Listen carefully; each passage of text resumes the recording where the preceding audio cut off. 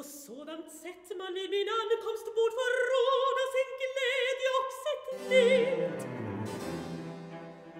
Kom min förbröder, skynda hit!